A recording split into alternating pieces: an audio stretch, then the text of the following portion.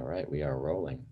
So I have Jess, uh, the, the chaplain Jessie Czebotar. Uh, I keep want to say, wanting to make it more, more, ex, more eccentric. then you gotta go Zevatar, make it exciting. there you go, Zevatar.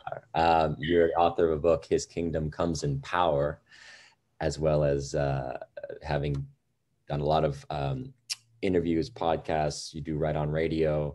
Um, your website, Illuminate the Darkness, is a great source of information. You've been on Sarah Westall's uh, show quite a bit. So, um, you know, it's interesting because I was I was recommended to you and started listening to your story, and it's like it it's certainly you you can I feel like you can connect a lot of dots uh, for us and help us understand this um, satanic empire. Um, let's start by just giving us, you know, I, am sure you've, you've gone into this a lot before, but just give us a little bit of, uh, of an introduction into your personal experience as much as you can you can relate.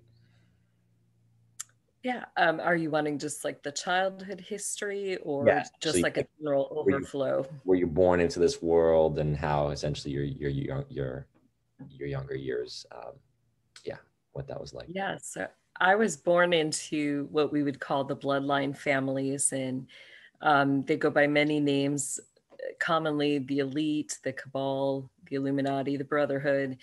Um, so I was born into the higher escalons of that group and was chosen at age four and a half for a very specific position in that world. Um, my proctor, who is a family member, um, is one of the Queen Mothers of Darkness. And so, one of the things that I really bring out as I'm speaking about this group is the structure. How do they operate? How do they work? Um, where are they working? Um, how does it connect between the physical, the spiritual?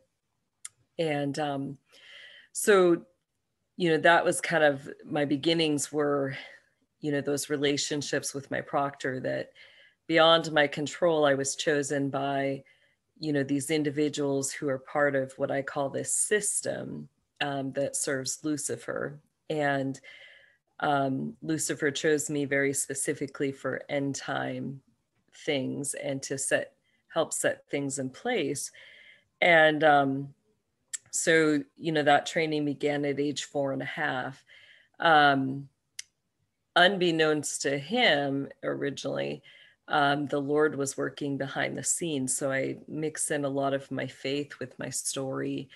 Um, I I was saved at age three, so a year and a half before my I was thrown into this occultic world and and trained in the system.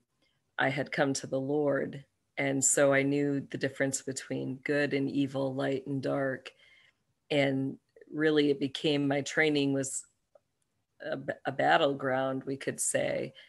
Um, you know, I, I went through training with some of my other teachers that are, you know, I brought forward some of their names. Um,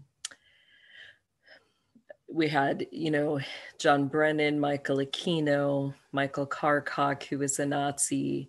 Um, he was the Ukrainian Legion of Defense leader um, for Hitler. And um, and then I had on the witchcraft side individuals like Gloria Vanderbilt and Lori Cabot Kent. Um, so those were my main teachers in the black arts, we'll we'll call it. Um, so all of them, you know, were I don't know what to call it besides an agenda. They all knew this Luciferian end time agenda. Yeah. And you know, had been given prophecies and different things that, you know, told them the series of events. And their job was to prepare and get everything ready in the economy, you know, financially, um, you know, in the system and, you know, move everything in that direction for this big end time system. So, are you familiar with John Todd's testimony? Yes. Does that resonate as far as was it similar what he was what he claimed he was born into as far as the covens? Um, it, it's similar in some ways. in some ways it's different. Um, you know, my family was at the very top of the system. So they were, you had the five mothers of darkness, and then you have the Satanic Council, which is all the heads of the 13 bloodline families. And then you have a 14th bloodline, which is the hidden bloodline, the Muslim Brotherhood. So, um, you know, what he's describing is kind of what happens in um, the groups underneath those, um, we'll call it departments in the system. So right. it's a little different. He, he was he was really talking. I remember uh, you know, hearing it years ago and just being fascinated because he talks about how they were controlling music, and in particular, what he was associated with was the control of music. And as we know, how music is magic and the frequency and vibration of what was put out, and how so much of it is designed to basically put people into negative frequencies or to hypnotic states. And uh, mm-hmm. a lot of it is encoded. I've heard about rituals done around music um, masters where they actually do uh, like bring in black magicians to like cast spells on the master itself, right? And right. then cast it to the to the masses. So, um, in terms of, well, another person I want to bring up then is you mentioned the thirteen families. There's a Fritz Springmeier work uh, on the thirteen bloodlines. Does that correspond to the families, or is it actually different than what he the families that he talks about? No, uh, he what he says is is very very similar. There's a few differences. Um, I have talked with Fredson. We've talked through those differences. Um, so there were some of um, the major families or or names that would fall under those categories. Um, he had kind of seen as you know non-important or in the background. What he kind of displays are the face front of the system. So they're they're true people, you know, the powerhouses. Like you can think of individuals, um, you know, like there's some that they bring forward that are kind of the face front of the system. Um, you know, like Gloria Vanderbilt was somebody that was out in public. She was well known. She lived a very wealthy life. But the real hierarchy people are behind the scenes. They live among us. There would be nothing distinguishing in their lives that would um, you know let you know that they're into this luciferianism. Um, a lot of them have you know very strong cover lives that revolve around christianity or uh, the catholic life. And um, you know you would just see them as a regular person. You know they're taught to live without the excess um, yet you know whatever they need is available to them. So you know these higher families they don't live wealthy they're not publicly out there people aren't going to recognize their faces um, and that's part of to protect the system to protect who's really doing the programming and the running and the coordinating and organizing of everything. And so what is this luciferian system about? What is their belief system? Well um, you know, at the core of it, it's all about Satan or Lucifer's agenda. Um, you know, they they really don't love God and they want to um, see this agenda fulfilled. They're promised all sorts of things, you know, fame, money, fortune. But above that, they're promised knowledge, knowledge that's not of this world. And they're promised eternal life that's the biggest thing that um, with that eternal life, it's not just that you live forever, it's that you are a God and you will, you know, rule as a God. So that's what they strive for. And, you know, in the backdrop, Satan's agenda has always been that he will usurp the throne of God, that he will sit upon the throne as God and when that happens he will you know make all of those who follow him gods. That's his promise. Um i can tell you it's quite different you know that that he's a liar that he's you know told me to my face that he intends to kill everybody. You know his goal is just to get his demonic army through those spiritual gates.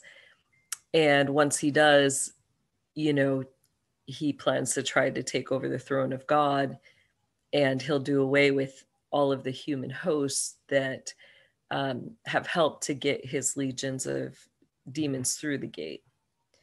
So the idea of the human hosts are essentially um, people allowing themselves to be possessed by by demonic forces and in, in the process of service basically by servicing by serving that luciferian uh, or satanic um, energy and, and and force essentially they're themselves to, to host it um, right? Is that the idea? That's the idea. Um, both you know if we talk about what the demons or the fallen angels really are you know they were angels that you know chose not to serve god and were cast from heaven. And they have spiritual gifts just like we do. So one of the things that the system does is you know they want to line up humans that have the same spiritual gifts as those fallen angels because when you work together in conjunction with one another um, those spiritual gifts are amplified so that's why you see all the gift testing, all the different testings that go on in schools, the different games are formulated, you know, whether it's online games or it used to be board games. Um, you know, they do all these series of testing to see who can connect where spiritually. And, you know, the goal is always to amplify those spiritual gifts. Um, so in a sense, you're a host, but it, it's much deeper than that because it's not just like you're an empty shell or a shell with a spirit that this other being is just kind of coming in and shoving that spirit to the side. There's at a quantum level, there's an entanglement. You come into agreement with this spirit, and the spirit, you know, operates at a spiritual level with both your physical body and your spiritual body. Precisely, precisely. And so is that the reason for this these like blood rituals, sacrifice? I mean, is this actually feeding demonic entities with the blood of, of humans or is this simply uh, more uh, how do you say is it, is it a mixture of feeding demonic entities as well as basically proving allegiance it, it can have multiple reasons. So it can be, um, you know, the the entities are very bloodlusty.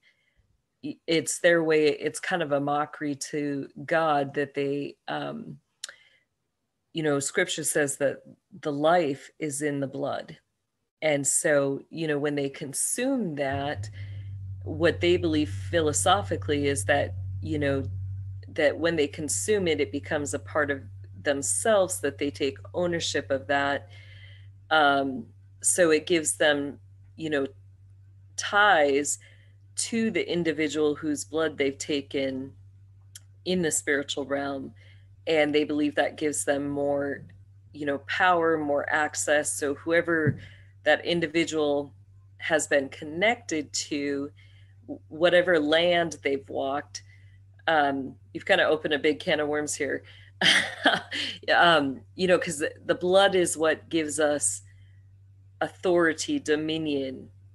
And so it's about that dominion.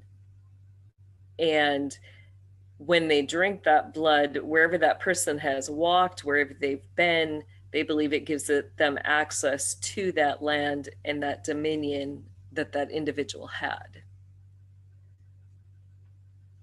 so like we could go further like so for them you know a physical display of that is you know we've got the red shoe club some of that's been brought forward uh, we know that you know the pope is somebody who wears the red shoes um, with the jesuits and so um, when he gets shoes they come from a very particular victim that he's chosen and if you think about it, it's kind of a dual meaning. You know, shoes have soles. And scripture tells us that wherever the soles of your feet trod, the Lord has given you that land.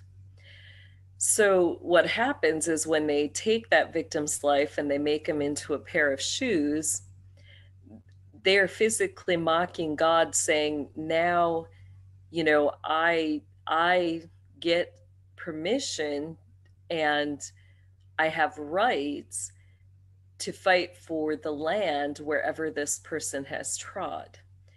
And so when they go into the heavenly throne room, you know, they fight for those rights in the heavenly places and fight for the footholds that they have, which they use for evil and wickedness, um, versus as God intended, you know, it was meant to for us to be bring righteousness and to put an end to wickedness and evil in the land.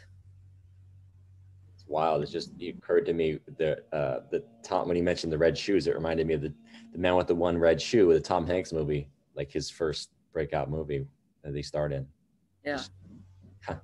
um, the uh, okay, so what and and the pedophilia then like why is this such a is this is this feeding on the purity of of innocence the purity the pure energy of of of children is that you know is that the reason why so many of these these cultists are you know engaging in pedophilia? Um well there's two reasons. The first is that it um the enemy uses that as a form of blackmail that you know nobody uh, well i can't say nobody i guess you know i would say 5% of the individuals who are involved in this system really want to be there.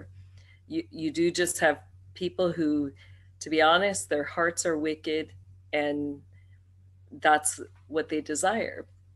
But the other 95% don't and so the enemy has to find a way to meld individuals wills to do what he wants them to do. So you know that's one of their most common forms is they start off with um, you know different forms of blackmail and it eventually will evolve to you know where they get you drugged or drunked or roofied and they get a picture of you with a child and then from there um, you know it, it kind of it's like you you have a choice you know at that point are you going to be in the system or are you not?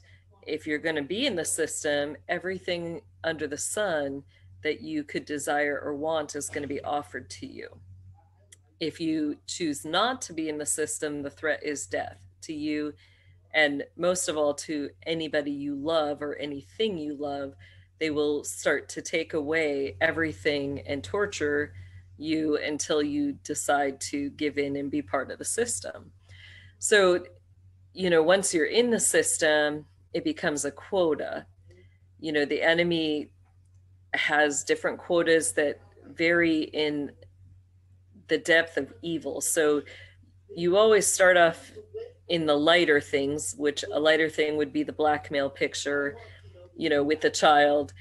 And then the next time it's going to be, well, no, now you've actually got to commit the act if you don't want to lose your family members and there you know it has to be documented there needs to be picture proof or video proof like you can't just say you've done these things so you know this is how the system the quota system of entanglement begins. And it just continues to escalate further and further to the point of you know the enemy doesn't want you just to participate and and just do what you need to do to get by. He purposely sets it up where it escalates. And then his his goal is to get you to the point where you are willingly participating and not only willingly participating you are applauding others to partake. You're recruiting and bringing other people into the system to keep it going. Um, so that's the first aspect of that. Um, with the remind me again exactly how you asked that question in the beginning because I want to make sure I cover both parts fully in here. Well, just in terms of uh, the feeding on the energy of children, energy is that part of why the pedophilia takes place? Is is it you know is it have to do with energy feeding basically for, uh, the sexual energy of, of a young child, the purity of a young child? Is that you know you just trying to understand why is it so common amongst the right the, the elite essentially? So so the second part of that is is you know what's behind it that you know, you've got the enemy's end time agenda that he wants to usurp the throne of God. In order to do that, he has to get his demonic hosts back into heaven. And he has to do that through the spiritual gates.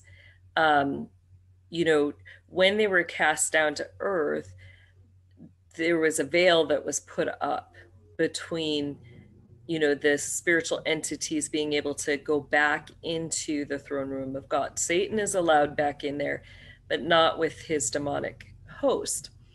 So how do the spiritual gates operate? And this is important to that question. Um, scripture tells us that you know we enter the gates with thanksgiving in our heart. Thanksgiving emotions, feelings, everything on earth resonates a frequency, a, a resonance, has a harmonic song. Okay, so the spiritual gates operate at that frequency of thanksgiving. The enemy cannot be thankful to open the gates. The true thankfulness is gone because they've all been cast out of heaven They've been cast from the presence of God.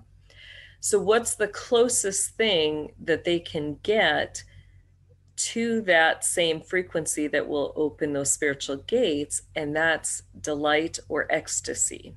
Okay. Now, why they choose the young is because you know that initial reaction that initial feeling is what's going to get them that frequency to open those gates so now you have, you know, really what they're doing with the pedophilia. It, it's not about, you know, necessarily lust or, you know, a sick desire to harm children. Like it's it's about that sex magic, and you know to to appease Satan, to appease the demons, to reach those higher levels in that system you have to be good at sex magic. And unfortunately, the only way they can get that is, you know, they have to involve children. Um, so that's kind of the way, I don't know how else to explain it, but that's really what's behind this is that drive to open and operate the spiritual gates. And in terms of your own story, I mean, I know you mentioned when you were young being involved with sort of stargates or portals or this kind of working. Um, you mentioned Michael Aquino and mm-hmm. elaborate on some of the, what that was about, essentially what what you were being tasked with and what you came to understand. Yeah, um, with that, I'm going to actually be doing a, a, huge show on that um, this upcoming Friday on the Reveal Report. Um, but w- basically what's behind it is that um, with my position, I had to work hand in hand with individuals, you know, who were operating and, and getting things ready with the system with that end time agenda. So part of my role was that, you know, on a certain date, I was supposed to perform a certain ritual and hand the system over to the Antichrist. Um, you know, so all of that training with Aquino, with Brennan, was all in prep for getting things ready to hand over that system to the Antichrist and to open the spiritual gates.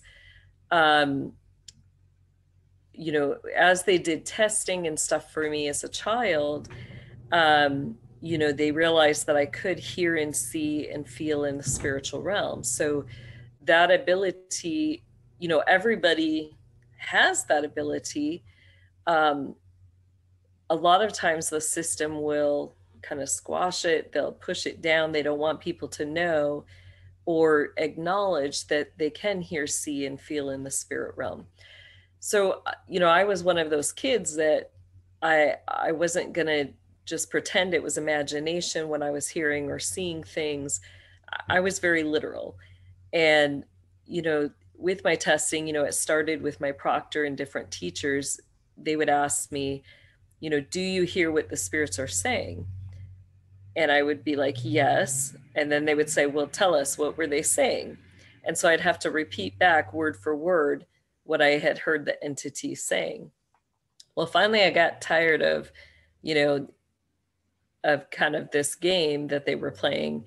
And so I just started, you know, I, I as I heard things, I just started blurting it out, you know, and a lot of it was stuff that you know might have been private communications between these demons and their hosts and stuff they didn't want everybody to know. And i would just be like this is what was said you know? And so that you know became a problem for them.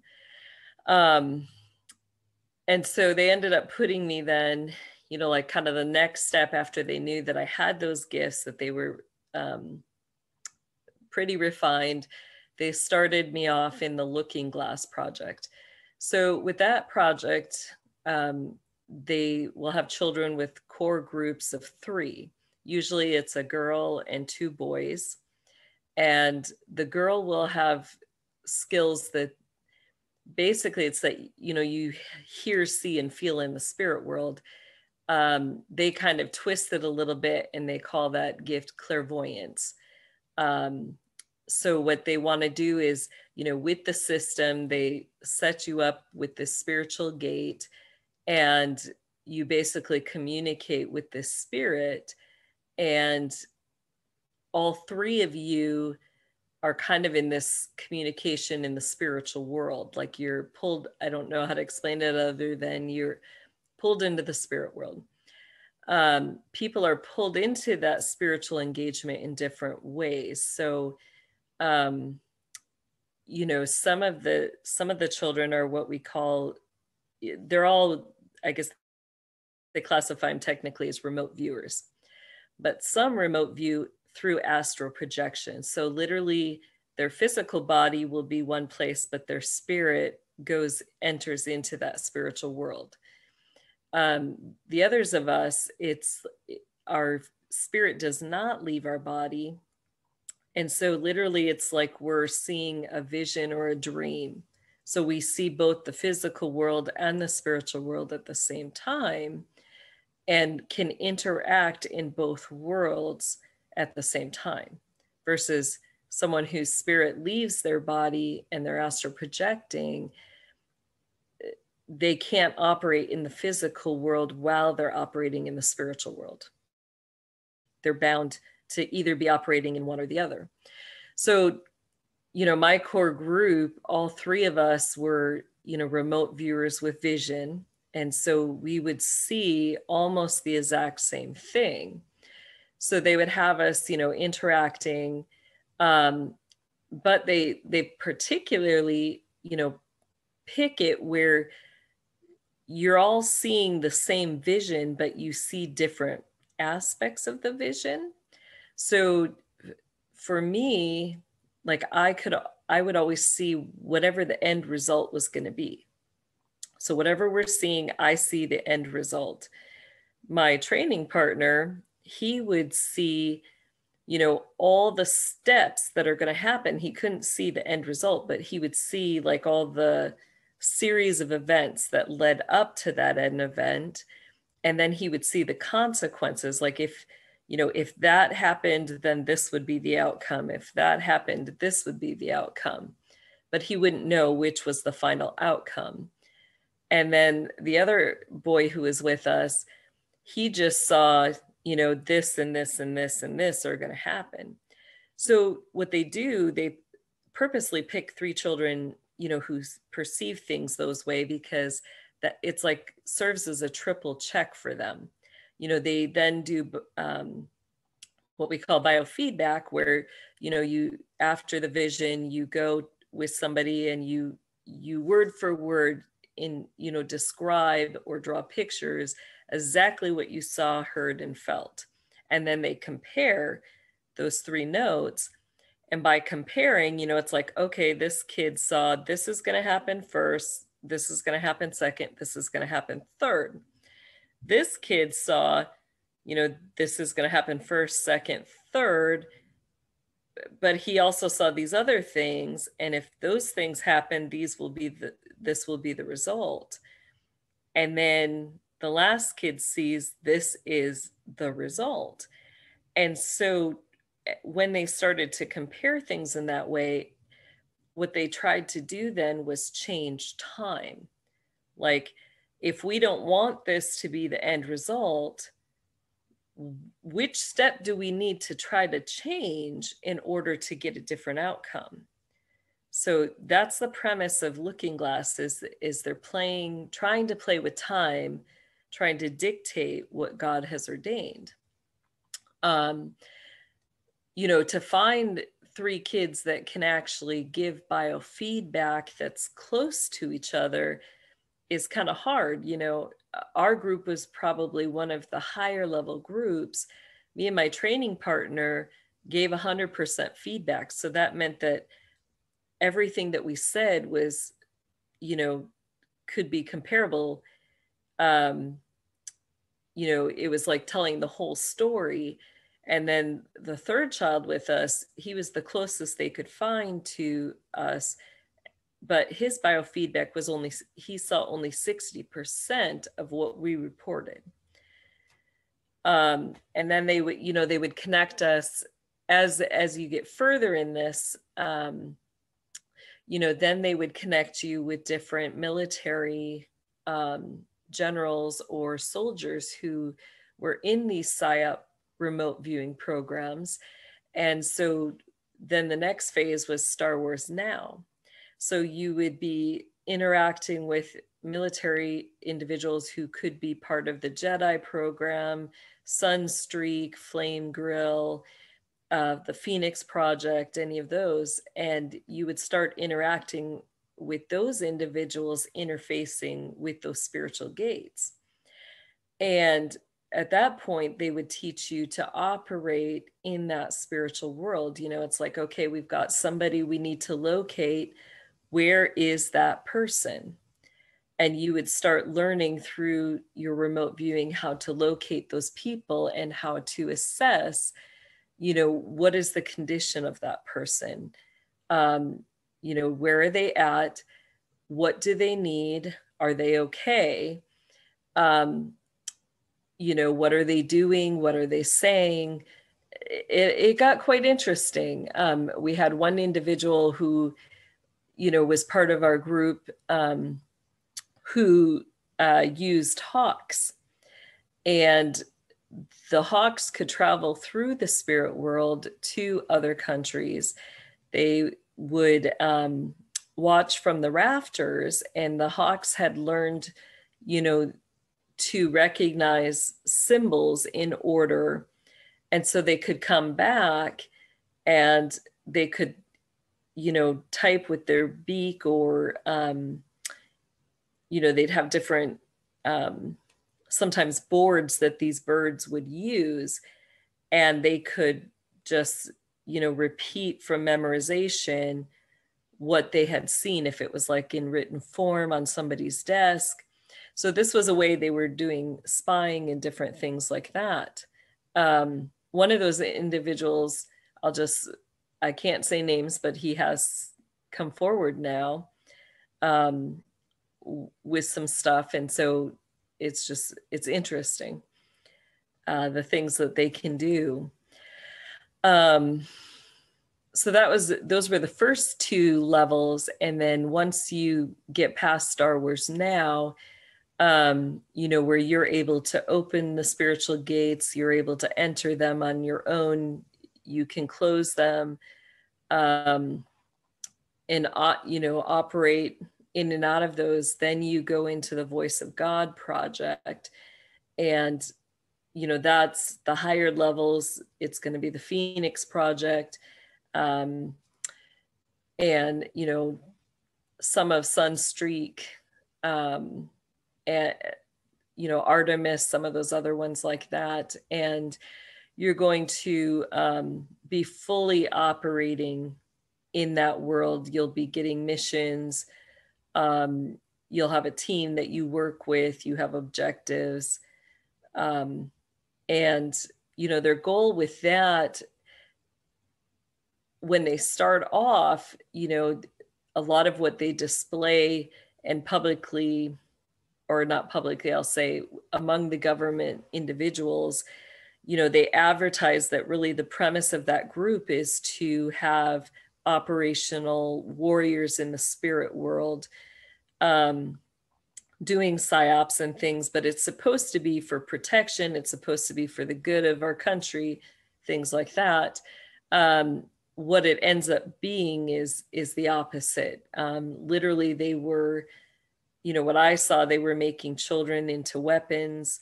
They were using spiritual gifts, um, you know, to to make changes in other countries or who was running other countries um, to cause harm to people. Um, they were connecting those children with the high level demonic generals. And, you know, so then really they're fulfilling Lucifer's military agenda versus our country's military agenda. So this was the extent that, you know, I knew Aquino and Brennan to be involved in this. Um, and, but, and they would hide. Well, let me ask you then, because Aquino, Aquino, I, I, interviewed and I asked him specifically, I said, have you ever, you know, utilized children for your mind control work? You know, you're so interested in mind control. And he said, no, because children are not, they're too emotionally, uh, how do you say, like they're not, they can't, they're not in control of their emotions. So they're not good for mind control. So he was lying, or was he would he just not categorize it as mind control as far as the operational stuff that he was doing? He didn't classify it as mind control. Mind control was the stuff Mengele and the Nazis were doing. Um, what Aquino specifically did was, you know, called mind construction. So with that, um, you you in a way you do gain control of of the emotions. Um, you know they teach children to have full control of those let me think how to put this.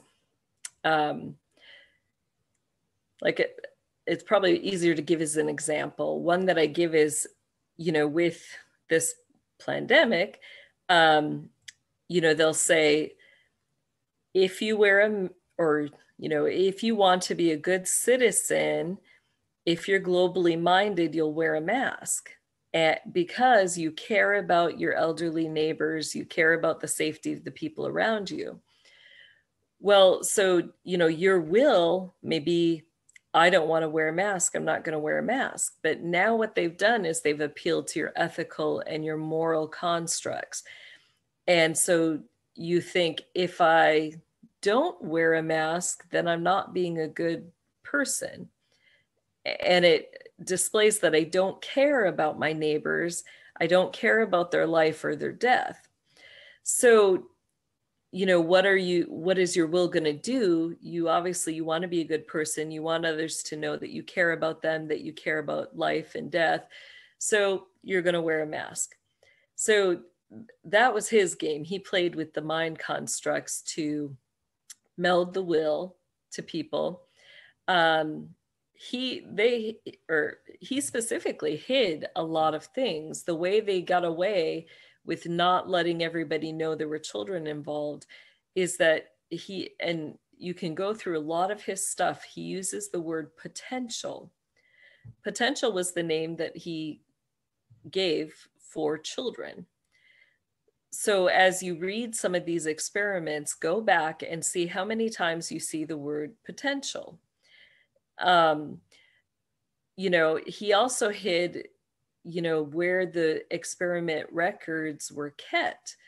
You know, legally, they're supposed to go through uh, an, a facet of our government where the public, after a certain time, can request or, you know, access those documents.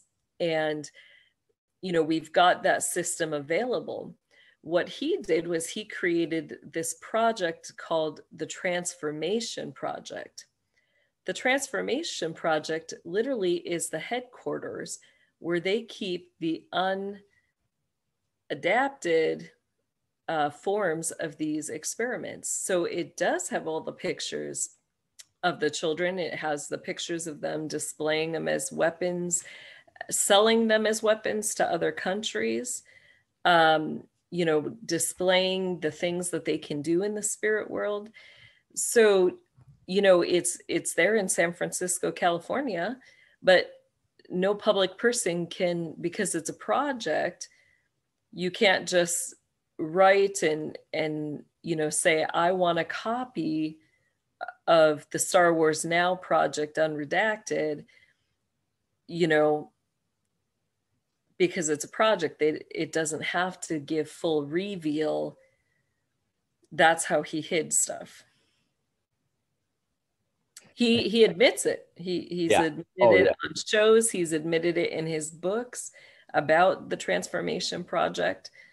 Um, so I'm just curious. Would you say then uh, Cathy O'Brien's testimony, as far as what you've seen of of her story, does that resonate with anything that you went through specifically? Because it seems like she was used for a different purpose, more of um, more of a you could not like a, a born kind of thing, but more of a psychic. And You're more psychic spy, and she was more uh, being used for physical, um, you know, how do you say programs, um, operations, uh, sexual slavery, this kind of stuff. But does that resonate with what uh, you you know about the projects? Absolutely, yeah. She even names like the same um, entities that were over those projects. So Apollyon um, sometimes he was called Apollo or Abaddon. Fiona Barnett names that one as well, Apollo. Um, you know, Aquino, you know, even in his book, he lists the different, um, some of the different training centers that kids are put through. He worked hand in hand with Disney. Um, he worked with the Alpha um, training center for the CIA in Australia. Um, you know, he names areas that Cathy was put through. Um, you know, so I would validate, I would say her testimony is validated. It is what I saw of children that um, I would say were, I don't want to give class necessarily, but other kids that were in the program during my time were doing the same things that she talks about. Indeed. So the program was the same, you know, right. with a 20 year difference. Now, you're familiar with Arizona Wilder's testimony. That was back in the 90s. Was she, mm-hmm. I can't remember if, if, she said Mother of Darkness training as well. Mother Goddess. Huh? She was Mother Goddess. Mother Goddess. Okay. Yeah. So, um, how does yeah exactly. How does her how do you say uh, how does that connect to what y- you were doing specifically in terms of um, she seems to have been involved with rituals and seeing you know mm-hmm. shape shifting reptilian forms. Um, does this resonate with any of your experience? Absolutely yeah. Um, so with her placement um, you know what you have after you have the satanic council is that the system starts to break into departments that run the system um, in the different quadrants, both internationally and in the US. So the mother goddesses are going to be individuals who who run the system usually statewide usually they're over a state or over several cities and they run all the covens uh, for witches and warlocks that are in that state. So she would have been somebody who, you know, was in charge of overseeing the rituals, um, the different things that are required of that occultic group in her regent. So that's how that would be classified. Um, as to, you know, the shape shifting, I can speak to that, but I didn't, I've never seen anybody who shapeshifted into a reptilian.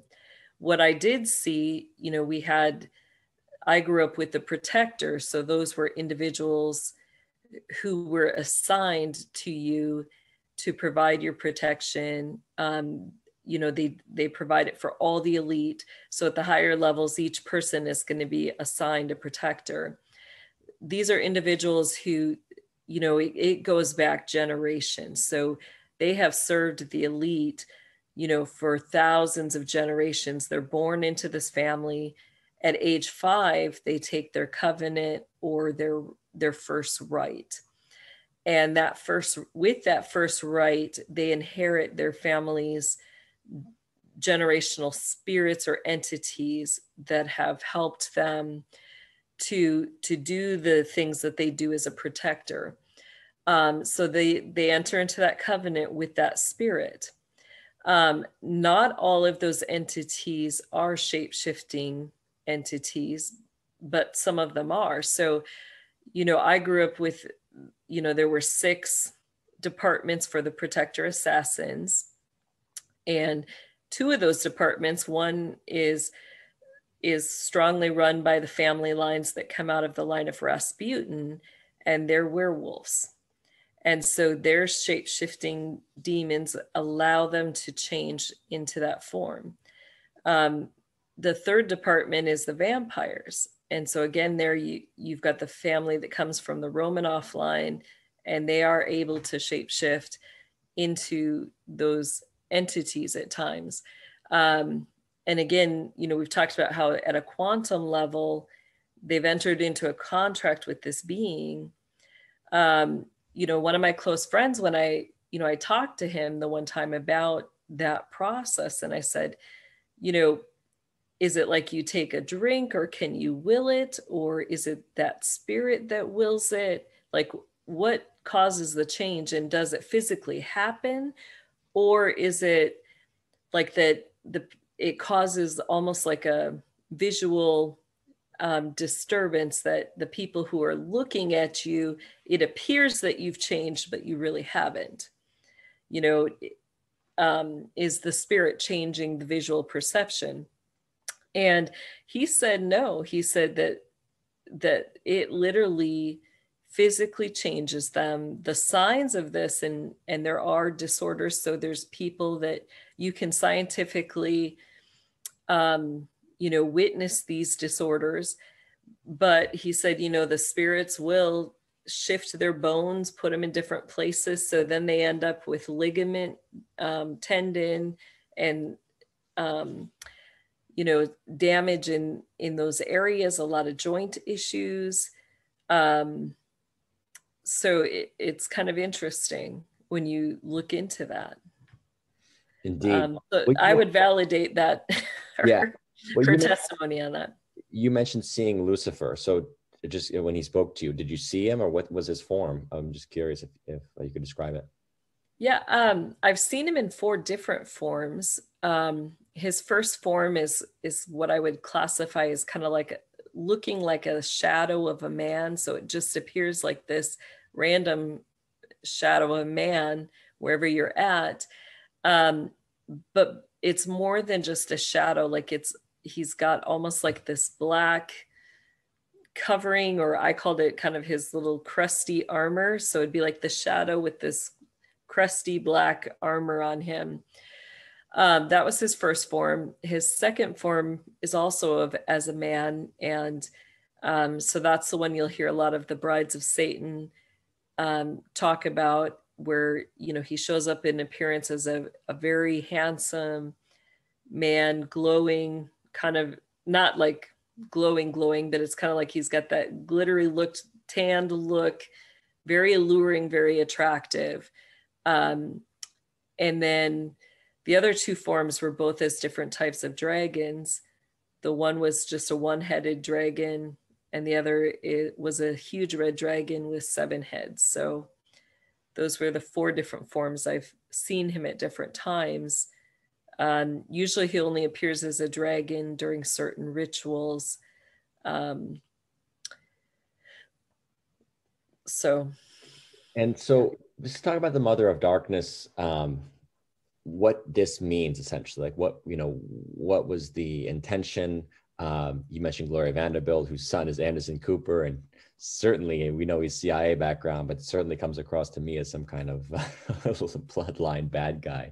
Um, what does this mean to be part of the Mothers of Darkness? And what was the, you know, you talk about building out the New World Order, the end times New World Order mm-hmm. agenda. So it seems like it goes hand in hand, correct? Right. So the mother's sole role is is to kind of act as the CEOs of of Lucifer's system. So, you know, part of that role, one aspect is that they do all the spiritual gift testing. So they will, um, you know, whether it's through remote viewing, whether it's physically being present and doing tests on children, they will discern, you know, what is that child's spiritual gift. They make the choice if a child, you know, whether they're born bloodline or whether they're not bloodline, they'll decide if they want to put them into a position into the monarch programming. So um, usually you'll see like one of my experiences was that they would use different places like the Frank Lloyd Wright houses. They would use, um, you know, fairs that were going on at schools. And you would see, like, you know, you'd have these events where all these teachers would be coming through with their classrooms, what looked like their classrooms. You know, a teacher with all with a, a row of children, and they're all in nice, neat rows, and you know, looking at whatever they're supposed to be looking at well, the mother of darkness would walk past, and as she's walking past, that teacher, that handler is watching her. And she either would nod her head, which would mean, yes, I want that child in the system. Um, so that child then would be entered into the monarch programming.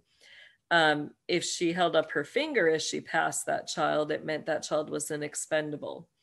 They now, instead of being an insurance policy where they're, you know, like the hierarchy children who are entered into the program, they are what ensures the system keeps operating, keeps going. Okay. The other kids, they call the, you know, not my term, they call them the expendable children.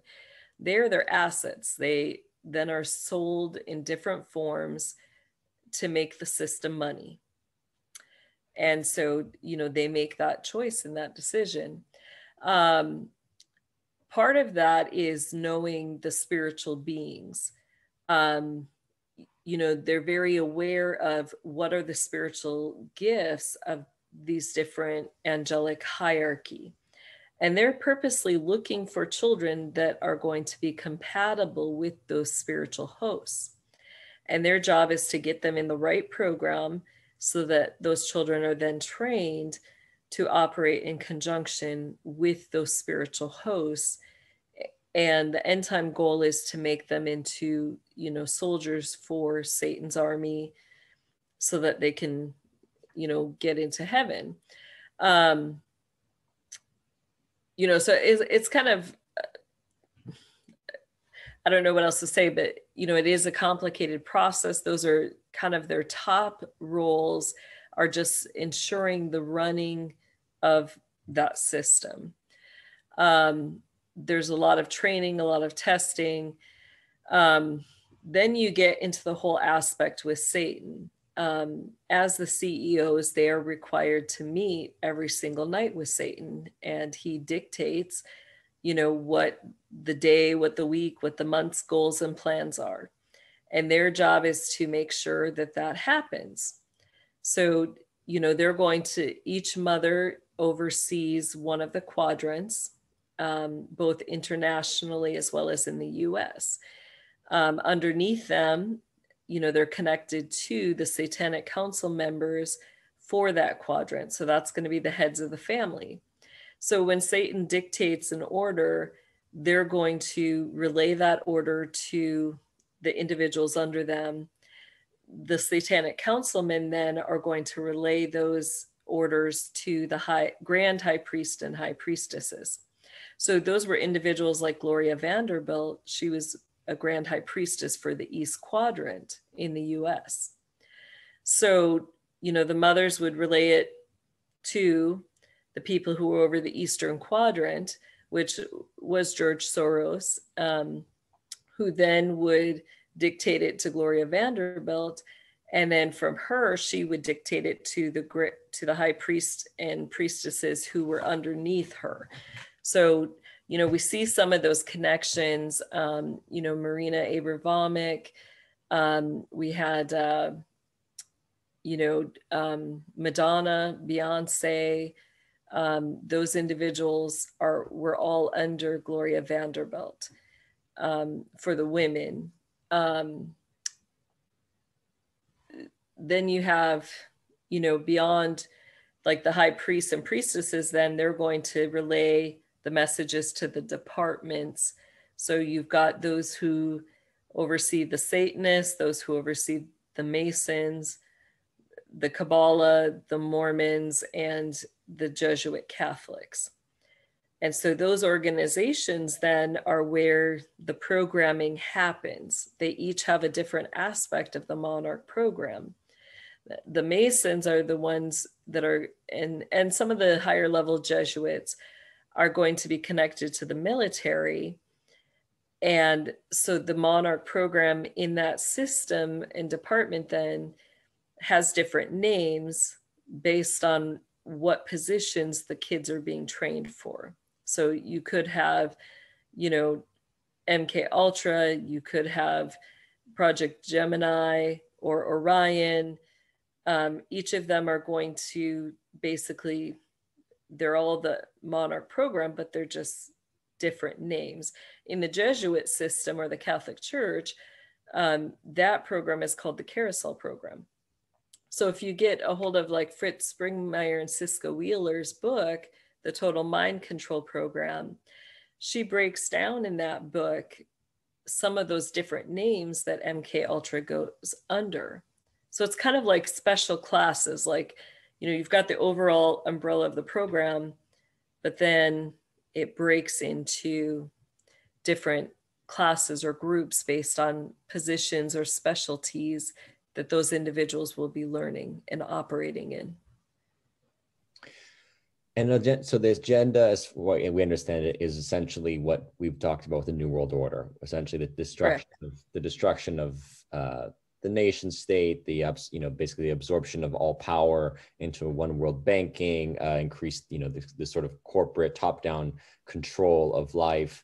Um, this is this is the ultimate agenda that they've been moving towards, and where are we in that picture from your perspective you know both spiritually um, i guess you could say yeah i mean spiritually uh, energetically it feels to me like they're actually at their end. And i don't it doesn't feel like they are winning even though uh, they perpetuated this life you know that how do you say they perpetuated this this false system but i feel like it's coming to its end so and obviously someone like yourself feeling that you know feeling the power of god you were chosen basically to be put, worked out of it to me, there's always this higher power of God's universe that ultimately is the living universe that is what they, the dark side, is feeding upon. It's just, it, it doesn't, you know, evil itself is the inversion of life. So it's essentially been um, promoting the, you know, the ego of, of these power hungry psychopaths.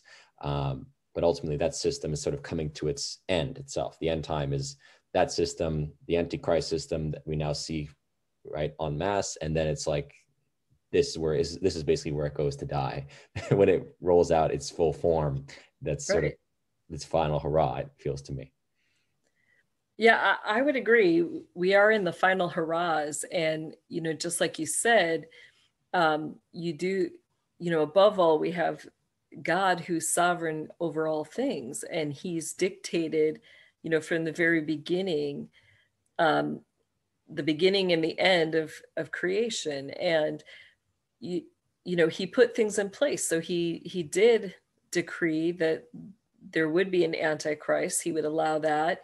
He would allow this period of time where lucifer gets to run his kingdom. And you know he has dominion over the earth. And we see you know what we kind of see in the process of happening right now was that just this past year april 24th um, 2020 part of the mother's job was to hand that system you know it was a matriarchal system before that where you know satan dictated his power to the mothers but on april 24th that system was put into the hands of the antichrist. So now it's changed hands from a matriarchal run system to a patriarchal run system. And it's meant to be a mockery. You know in scripture you have the Father God who had his son Jesus Christ, the Messiah, who he gives control and power and authority of his kingdom to. And what does Jesus do with it? He places it back under the feet of the Father. So, in the same way, you know, the book of Revelations tells us that who does Satan give the power of his kingdom to? He gives it to the Antichrist. And that Antichrist job then is to rule that kingdom, to bring it to a certain point, and to put it back under Satan's control.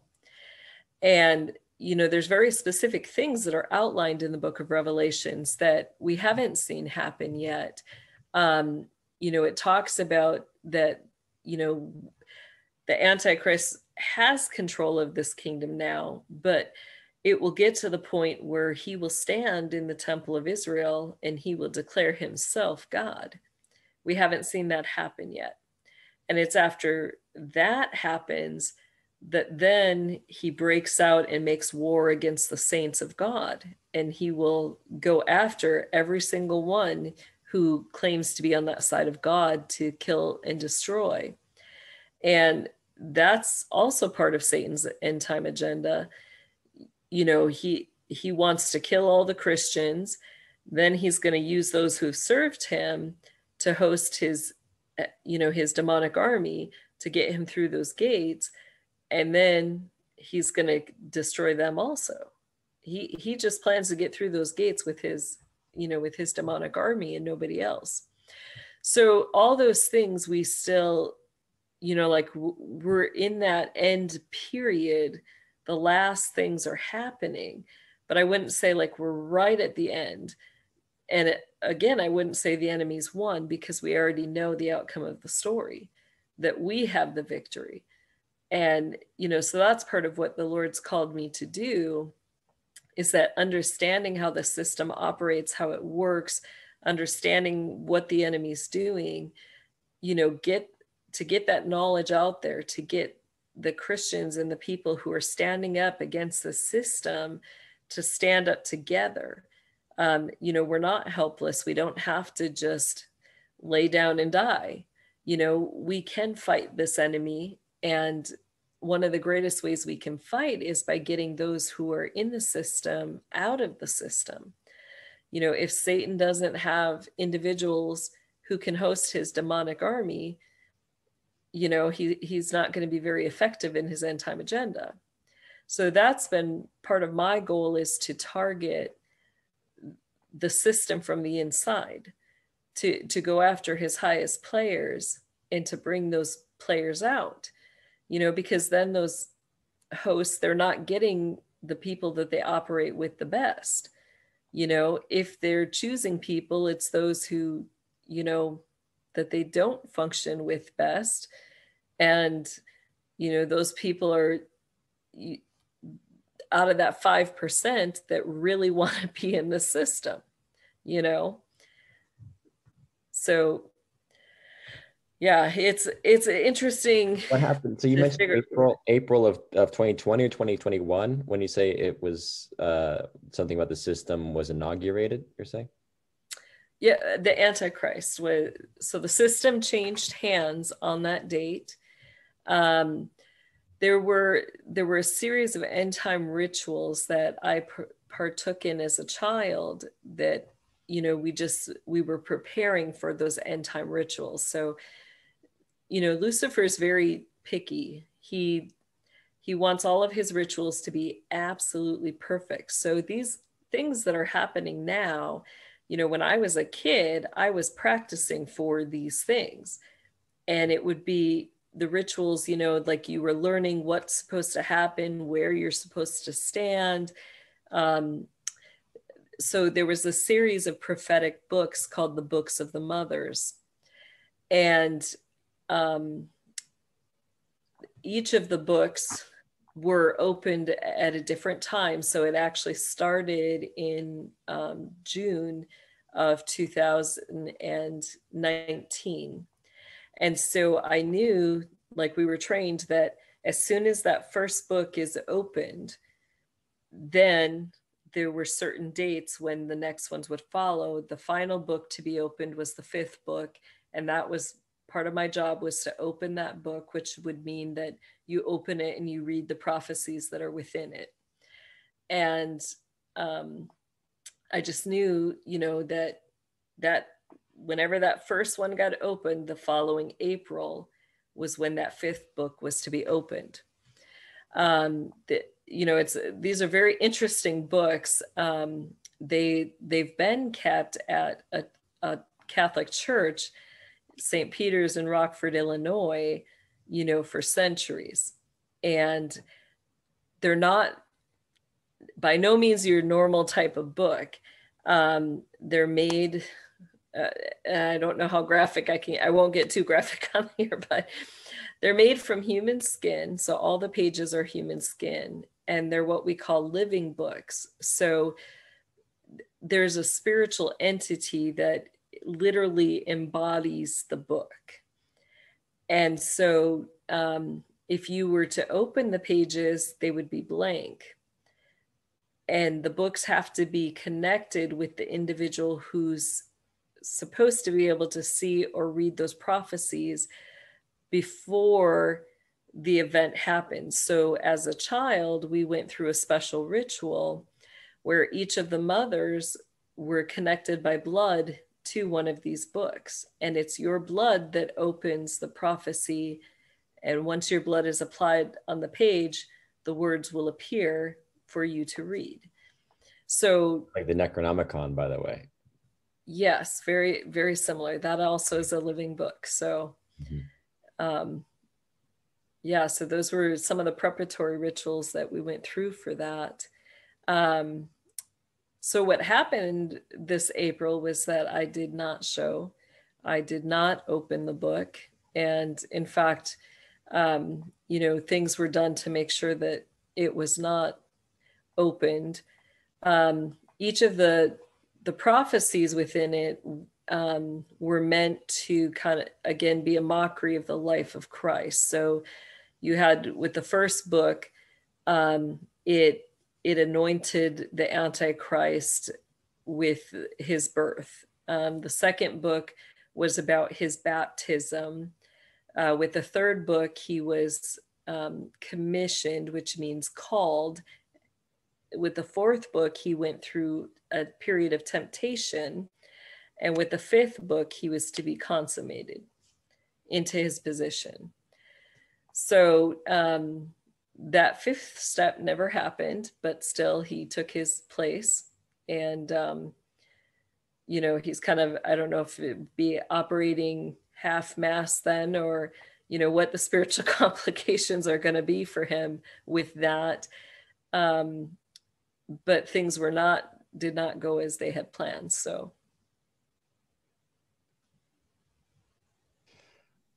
it's fascinating. So basically uh their their yeah their time is short. We get that. Their time is short. Yeah. Um and again so do you think that just just the people that you, you referred to you know that are work that are basically part of this you know this cabal and this bloodline these bloodline families um do you think that they're even like have consciousness and awareness that you know essentially that they are serving something that is ultimately dark and they just they are just you know are they possessed in a sense do you think by it? Or do they just have no conscience left? I mean are their their souls even are they even in possession of their souls at this point? Um, at the highest levels yes they are in possession of their souls and they do know exactly what they're doing. Um, you know they're they're very aware. Um, as you get into those who are programmed um, you know their souls are still in their bodies but the control is an issue because they may have you know they're battling with entities for the use of their own body. Those entities are able to control to an aspect. So sometimes they do you know, black out and they have no idea what their body's been used for. They have no memories of what they've done, where they've been. Um, you know, the, the spirit does not allow that. Um, sometimes they have built in alters or programs in their mind where, you know, they've got different personalities or different. It, I'm trying to think how to describe that. You know, a lot of times it's called DID for dissociative disorder or multiple personalities was the old name for it. So basically the system you know, would build these different compartments within the mind where it almost was like you you could be like 10 different individuals living within one body yet it's all you. But you see yourself in different ways and you can't you know each one is distinct. So you don't realize that you've got these other personalities as well living within you. And then you know your handler or the person controlling you you would use access codes or different trigger things. It could be as simple as walking by you wearing a red scarf. And you were trained that when you see that red scarf you know your beta kitty sex uh, worker personality is pulled up. And then as that personality is pulled up, you could be programmed or wired to have certain jobs that you would fulfill, or they may give you a job. Um, so one of the ladies that I knew, you know, they like one time um, they got her at a gas station. And so what happened is the guy just pulled up and he was like, Hey, hey, um, that guy over there just gave me a note. Well, she went to look and there wasn't a guy, but he put in her hand this note. And when she saw the note, it had the trigger word on it. And it it made her that beta kitty come out. And she knew then she was programmed that when she was triggered, then she would go to the Masonic Lodge at a certain time. And that's where they would pimp her out. So um so it just depends on where in the system the person is whether it's conscious or not conscious you know and how controlled they are or what spirits have control of them. I think that's that explains a lot. Um yeah i mean i guess the only final question i have is you just describe some of the magical battles that you um have witnessed or, or involved with. Um can you explain how that plays out essentially for people that you know they think of it like as a harry potter reality right? You know the fact that this magic is is real and essentially it does it's like we are living in a multidimensional reality right? Right. That's the essence of it. Yeah that's that's the reality of it is that you know we have the physical world but we have the spiritual world as well. And all of us are created to function in both of those realms together. Um, but we you know from a young age they they use words it's part of the programming you know like if you you're seeing somebody as a kid and you're you tell your mom hey i saw that person what's the first response you get? Oh is that your imagination? Is that your imaginary friend? You may see this person or being multiple times and yet every time you're going to be told that's your imagination that it's not real you know you may even be able to hear see and interact with that being or person and you're still told it's not real so you're you're taught to doubt your gifts and your abilities in that in those realms um so you know, kind of remind me again where. Yeah, just in terms multidimensional. How those, how those magic, how those magical battles essentially work. Yeah. So, in you know, it varies in levels. Um, you know, it could be. I guess it depends if you know they're calling you into an operation or if the you know from the Lord's perspective, it was it was really different for me as a kid because you know, they would throw us into a room and there would be, you know, individuals in there that might be defectors, people who are trying to run and get out of the system. You know, so what would happen is they'd have those persons chained or somehow stuck in this room that would be completely dark in a basement. And you know, we'd go walking, and next thing we know, we'd get shoved into this room, and the door gets locked behind me and my training partner and you know they're saying through the keyhole either you guys live or he lives. Okay so now we know there's someone else in the room. And that's the whole thing is that you would be forced to fight to the death. You know only either the kids or the guy walks out one or the other. And that was kind of their their way of punishing people. And so that was the physical aspect of this battle is that you were entering into physical fighting. You know that's why we had michael karkoc who was the defense legion leader of the nazis train us. We had to know how to defend and protect ourselves in these phys- in the physical aspect of the battle. But then you have the whole demonic witchcraft side.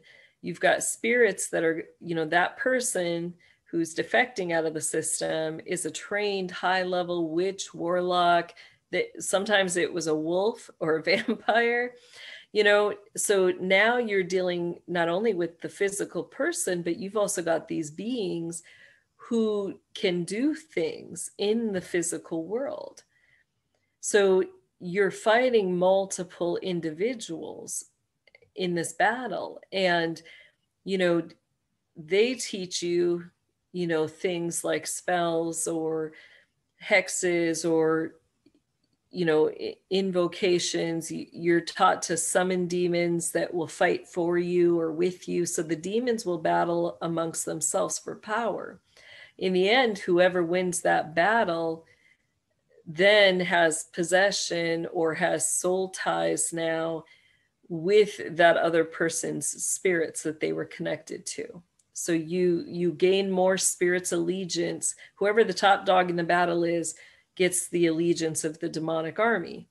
So the higher spirits you you know if you're fighting just against low level soldier spirits you know you you could have th- thousands upon thousands of those guys okay? But those guys if they have to fight against a demonic general they're not going to get very far because they're not skilled in battle versus the demonic generals are are very skilled you know and usually they just enter the field and these little guys see them and they run you know like little chickens because they're scared. And so early on you know as we were in this i remember one day you know we were playing chess at um, gloria vanderbilt's house while we were waiting to take place in one of these battles. And i you know i looked at my training partner and i was like why are we even physically fighting the humans like we see the demonic general like bible says you know says heal the sick you know raise the dead cleanse the lepers and cast out the demons. Why are we just not casting out the demon? If we cast out the demon these people have no power besides their physical abilities.